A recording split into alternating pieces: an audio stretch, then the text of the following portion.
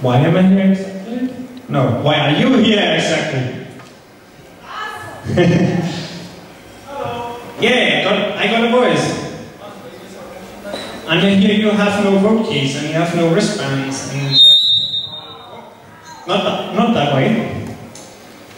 Hello and welcome to the beginning of a new, not so new anymore demo party called Knowledge in 2014.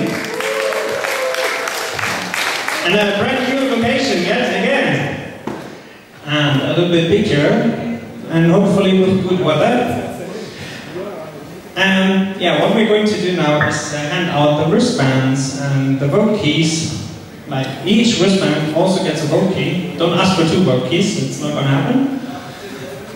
Um, um, come here, yeah. We'll have to think of something there. The, the only ceremony will be like handing out vote keys. There.